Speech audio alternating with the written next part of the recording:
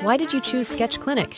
I opted for Sketch because of their reviews and also one of the staff reassured me that this was a good selection for me to make because it's a smaller clinic and so for someone like me that's my first time coming to do a procedure having that small clinic feel it's more intimate and it just felt more reassuring